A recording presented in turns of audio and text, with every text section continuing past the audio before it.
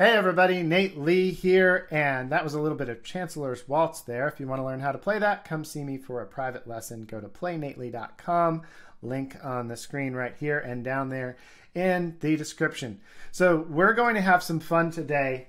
This may or may not be instructional, and I'm so far from a uh, fiddle historian, but I have a general idea what I think is true here.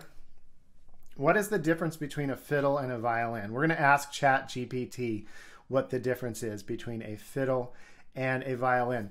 Um, before we look at it, and I don't have the information to verify what I'm about to say or what ChatGPT has to say. This is strictly entertainment purposes here. If you know the real answers for the difference between the fiddle and a violin, put them in the comments.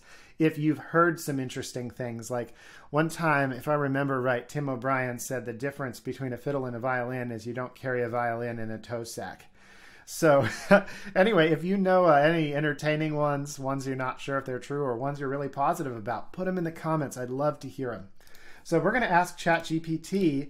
Uh, we're going to see if what I think may be something that it agrees with, which is this one, I can tell you, they're the same instrument. How you do setup can make a difference in what you're going for stylistically or which instrument you choose. But uh, that's about it. I've seen plenty of fiddlers play on classical rigs, and uh, well, I don't know any classical players who play a flat bridged five string fiddle or something like that, but it's a lot of crossover. I also heard, and I cannot verify this, but that fiddle is a old like Anglo-Saxon word or something. Linguists out there, let me know. All right, so let's ask it. What's the difference between a violin and a fiddle? Show us what you got. All right. I really should pay for the subscription. I've heard it's faster. All right, this part I knew to be true. From a technical standpoint, there is no difference between a violin and a fiddle. They are the same instrument consisting of four strings played with a bow on a wooden body. However, the terms violin and fiddle are often used to describe different styles of playing and musical genres. Violin is the term typically used in classical music to describe the instrument, and the playing style is usually formal and precise. In this context, the violin is often used in orchestras and chamber music groups. On the other hand, fiddle is a term more commonly associated with traditional music such as bluegrass, country, and folk. Yep. Side note um, jazz players usually call it a violin. The playing style is often looser and more improvisational with an emphasis on rhythm and melody. Absolutely true. You know, classical timing is so different from groove that we experience in other styles that we go for. Adam Neely has a great video on that, so look for that. Fiddlers may use different techniques and play in different positions on the fingerboard compared to classical violinists. So, partially, um, fiddlers and violinists do tend to use a lot of different techniques. Um, one example is the violinists are so good at all that bow bouncing and stuff and really randy howard is the only fiddler i ever heard who really incorporated all of those types of things. Um, but the different positions on the fingerboard no.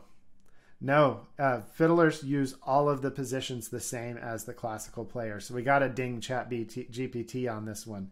Uh, but it's it's just learning. It's new. And boy is it already very good uh, all right, in summary, while the instruments themselves are the same, the terms violin and fiddle are often used to distinguish between different playing styles and musical genres. And that's one that in practice, uh, from having done this for so long, I've played going on 26 years, I think. Um, that's spot on. That is the difference. So basically, classical, you're going to call it a violin. Jazz, you're going to probably call it a violin. Um, in like punk rock and things like that, I've often heard it called a violin. In hip hop, they call it a violin usually. Um, but then bluegrass and old time, and uh, I always hear Celtic players call it a fiddle. Um, related styles to that, you know, new grass, things like that, it's typically called a fiddle. Interestingly, in new acoustic music, which is stuff from the era of Dawg music and Tony Rice's Space Grass and stuff like that. In new acoustic music, it's not uncommon to hear it called a violin. So there you go. Some things you didn't know, some things that uh, I, I certainly didn't know what to expect.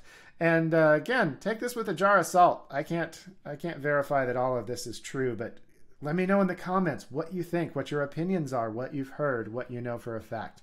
All right, make sure to subscribe to this channel and click that like button for the YouTube algorithm. It's a quick and easy free thing you can do to support the channel. It makes me want to make new free videos for you every week. I make a fiddle video every week and a mandolin video every week. And as always, if you're watching on Facebook, make sure to follow this page, like, and share this post, and I'll see you all in the next video. Bye.